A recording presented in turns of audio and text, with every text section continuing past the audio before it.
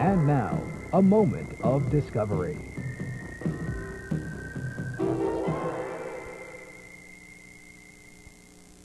These men are not ordinary runners.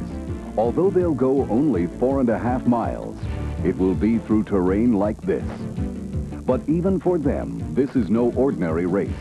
They are being monitored, prodded, and probed by researchers from Salford University in England, trying to understand how the body works, testing it in extreme conditions, measuring and tracing chemicals and enzymes to uncover the secrets they hold. By exploring the limits of our endurance, the research team hopes to better forecast who runs the risk of heart attacks.